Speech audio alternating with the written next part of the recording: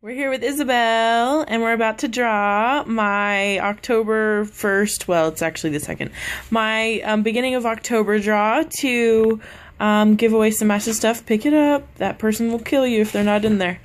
Um, we're giving away some massive stuff today. We're giving away a classic cream gallery warmer, a, um, a bronze flower, uh, frame for it, and then also a Scentsy bar.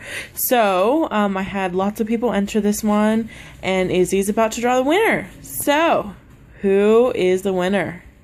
Okay. Yep. Just say the first name so we don't give all their information away. Oh, Open it.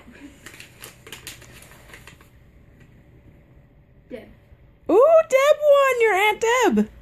That's who won! everything says that, so I wasn't sure who. And she kept saying, no, she never wins anything. She just won. Congratulations, Deb. I'll be sending your stuff soon. Bye.